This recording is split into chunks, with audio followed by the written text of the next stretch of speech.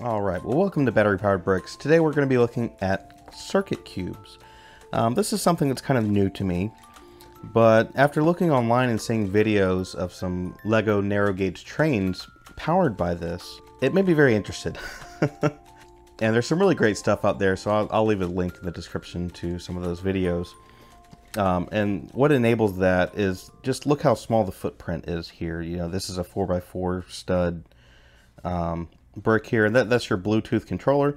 And then you've got three motors in this set. They're, they have different sets with different um, parts. Uh, this was about $60 on Amazon.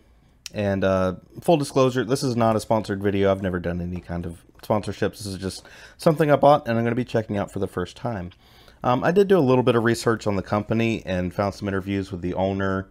And I really liked them because I'm, I'm a huge fan of educational products especially ones that are fun and engaging and hands-on to learn valuable skills. So I think this is going to be a ton of fun. So let's get it opened up and uh, see what all's inside.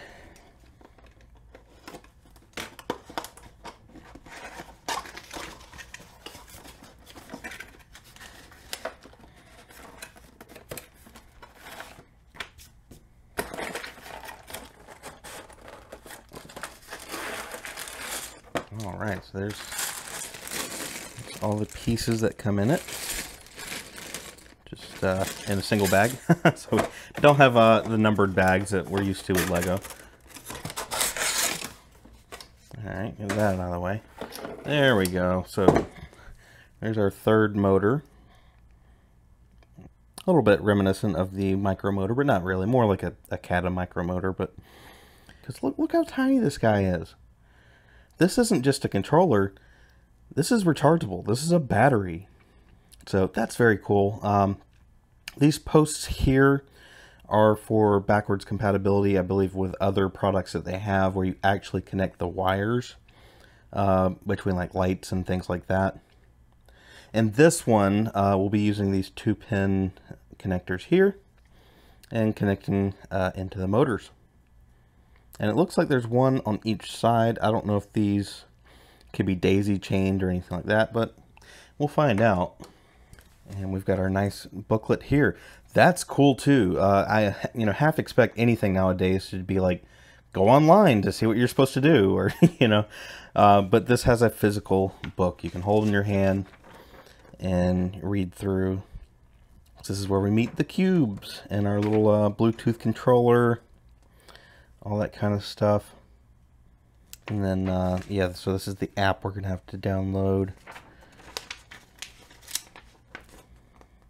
Um, yeah, very, I mean, detailed uh, instructions for, for getting set up and everything. This is done really well. Um, this isn't like the cheap Lego compatible stuff, uh, you know, you get from China and there's no instructions, no anything. Um, this is a whole another ball game. Um, so there's our building instructions, which look fine. You know, they've, they've got uh, call outs for what pieces you need uh, as you're building. And it looks like there's multiple builds here. So I think what I'll do, it's just, it's a bit much to try to do, to show the builds of all these. Um, but I'll go through and build them and then show them off.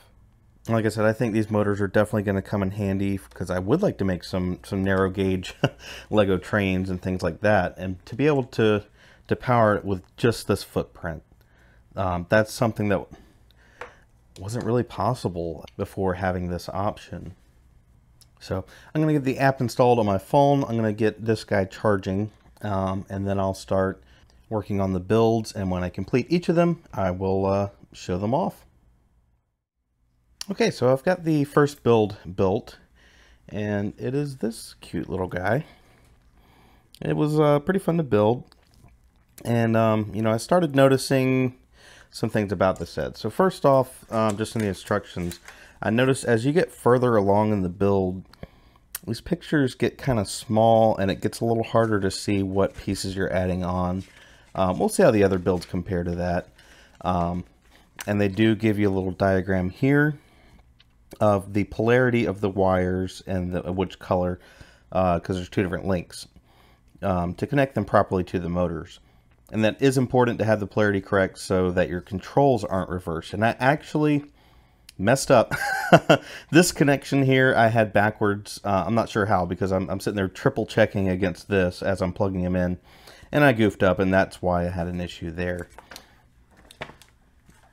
So let's go ahead. We've got the app here. So let's go to controls. Nope, not gamepad. Um, you know, you've got a few different options here. I'm just going to go to tank. Um, so we do need to turn this on.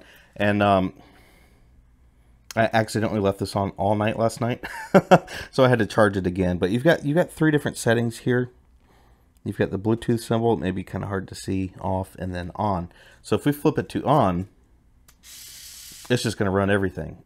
Well, it's supposed to. All right, not sure what happened there. Uh, it just runs all the motors. I'm not sure why it keeps shutting off. That doesn't... I don't think it did that last night. All right, so now we're on Bluetooth.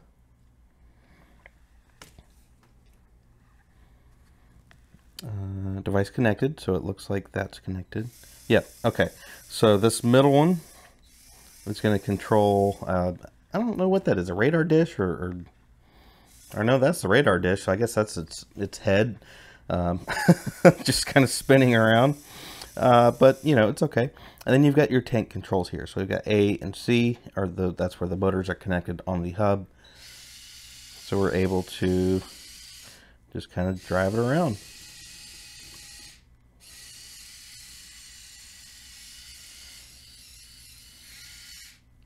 So yeah, it's kind of fun. Um, something I didn't, I don't understand yet is you've got this option for external and you're supposed to be able to use an Xbox or a PS4 or, you know, controller. Um, so, uh, you know, I brought my PS4 controller and uh, connected it via Bluetooth to the phone. Maybe that was an issue, but it just doesn't see it. It doesn't do anything. Um, so I'm going to look into that a little bit more. Um, all the examples I've seen online use an iPhone. I don't have an iPhone to test that, so I'm not sure what that means. Um, but, you know, for now, I can just use the, the tank controls here, and it drives around pretty good. So this is a build that uses the wheels. It comes with four wheels, and you do have to take the wheel and gear off to get to your USB plug there. Ask me how I know that. Um, and the only complaint I've had so far with the Lego compatible pieces, because um, of course these are not actual Lego, there's no Lego logo, this is just third party clone bricks, um, is this piece. Fairly important because every time I pick this up, this falls off. But that's what the piece looks like on the underside. It's just smooth and it doesn't have the circle on the inside that you would normally have. I'll put one on screen of the official Lego piece that is like this. I'm not sure what that piece is called. Um, but yeah, so that makes it a, a real pain in the butt because every time you pick it up, this is just going to fall off. The only other thing I noticed, the gears were a little tight in here. Um, you know, the motors kind of moved up just the slightest bit to make it mesh with the motors. And it's, it's a little tight, but it seems to be fine and it drives around just fine and it was a ton of fun. So I'm cool with that. So now I'm going to take this apart and we'll get started on the next build. Okay, and we finished our second build. So for this one we have a, uh, it's a space rover, so it's a space forklift. Um, pretty simple build. A couple things I noticed, these motors, once you get an axle into the motor. It is very difficult to get them out. Like these, um, luckily these two length axles didn't need to come out, so I just kept them there for the last from the last build. and um, I'll show you what I mean if I push this down a little bit. This is how tight these gears mesh.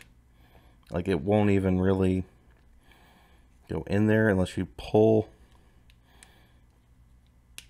You really got to push to get it in there. But and once it goes in there, hopefully that doesn't wear out the, uh, the motors in there. And it looks like the fork does go a little bit low um, when it's at the bottom. And I'll show you when, when you're lifting this, it's pretty quick. Um, so it's going to be hard not to keep it on the floor like that. Because it takes, come on, it takes some torque. Yeah, that's, that's pretty rough. Um, well, I got a little better that time. um, uh, this is, this actually is Lego. This is a, a pallet from uh, one of their forklift sets. So we're going to try to pick it up and see how it works out. Um, I really don't have all four rails on the ground, but don't tell OSHA. Um, yeah.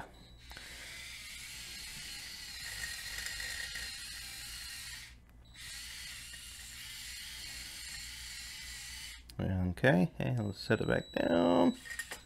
Got it. No, no, no.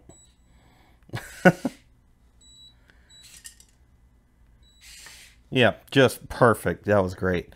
Um, and another thing, when I tried to reconnect the app after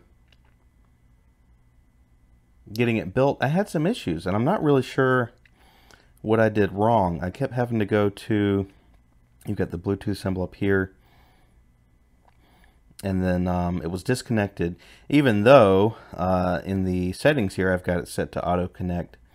Um, I was just confused. I had to connect it about two or three times and then eventually it started working again. Um, so I'm not sure um, if I was doing something wrong. Um, I don't really know. Oh, come on. Yep, yep. Sweet. Um, and I do believe there are other control options for this. I haven't really tested them that much. So you've got this gamepad thing here. I don't know how customizable this is. Oop. Oh no. Oh no. we melted down the core on that one. Um, so our motor completely came attached, detached. Uh, well, we were about done with this build anyways. Um, yeah, something like that. So, you know, not the most robust uh, forklift ever.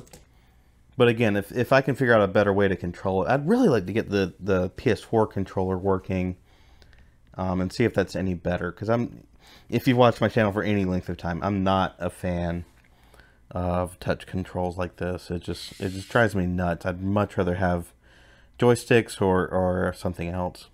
And this one wasn't as bad. I was gonna say with the first model, um, I forgot to mention these cable connections are done at the very end and all your connections are down in that little hole in there so it's probably easier to skip ahead from, well, pretty far back from like there and go ahead and get your cables in. So that's something you can look forward in the build and see how it's going to be by the end. This one, this one wasn't bad at all. It was just, you know, very simple there. So that, it wasn't an issue with this one, but all right, now let's get, uh, get on into the next one. All right, so now we have our final build. We've got this little, I like these tank treads. Um, I guess it's supposed to be kind of a tractor and trailer. Um, so some things I want to point out. First off, these, these guys, they suck. um, you know, nothing like the Lego ones. I would have just omitted these uh, in the build, you know. Um, this piece came back again, um, which at least it's not doing anything important there, but you can you can see it just pops off so easily. Um, I'm going to go ahead and disconnect them. These treads, I would actually put these on earlier in the build, and if you can see, it actually puts a good bit of tension on these. They're a little tight, um, and the build fell apart in my hands trying to put these on. And even afterwards, um, you've got one little half not even a half pin, that sticks into the motor here, and that's what's it on this side. Then it's held by two studs over here. And basically, it just rotates off that easy. Um, so I'm going to run it a little bit and see how it does. Um, but I've got an idea to fix that. Um, so let's see how it starts up this time. So I've got the app open already. Uh, which way is Bluetooth? To the left. We'll kick that on. Uh, blue light is flashing.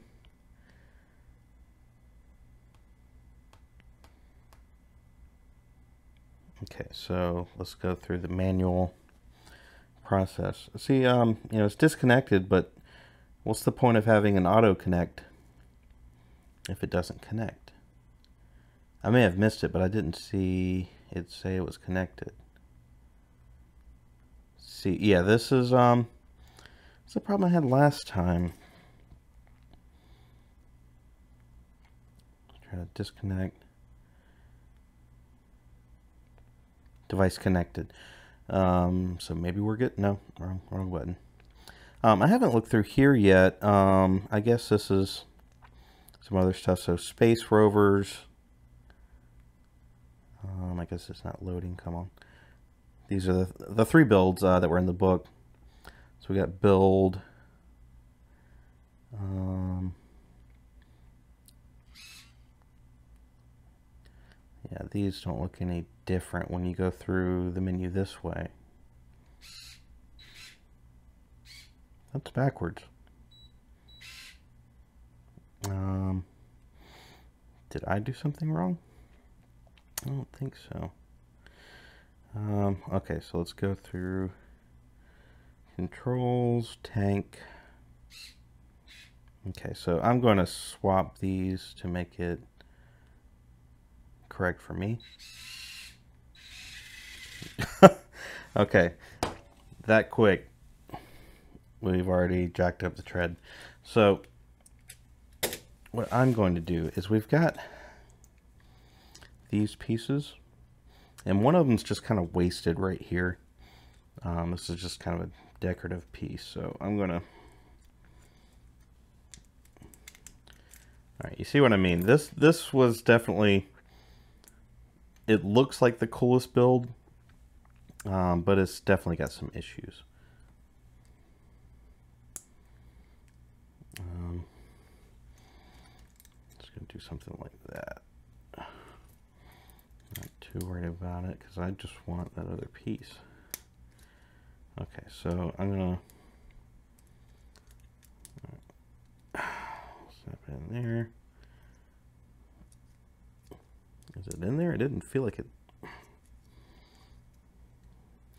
Something like that. Now we have two of these pieces and I'm going to put them right here just to see if that helps. Um, I don't want to use anything thicker just to, to save the ground clearance on it. Because, um, yeah, that didn't feel like a good connection when I first built it. Um, like I said, this front section just just falls off. Okay.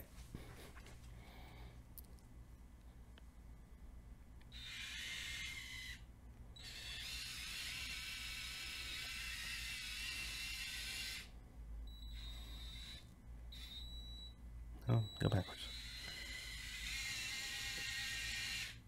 Well, yeah, no. I think the forklift was probably going to be my favorite in this. Um, this is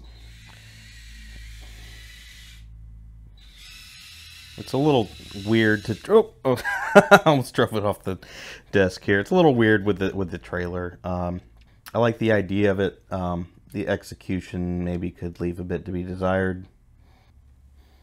Um, and you know we still have uh, well that's not with it, but we still have some extra pieces here, so we could uh, add an extra motor or build something to go into the trailer, things like that. I mean that's the whole idea of these types of sets is. Uh, we can take this all apart and we can do something better. Uh, maybe do a better tread implementation, um, or maybe make one vehicle that has treads and, and tires, and you know you can do a lot. And um, you know this set comes with it just has a hundred plus pieces. I'm not really sure the exact number, but again, these are all Lego compatible, so you can add to it.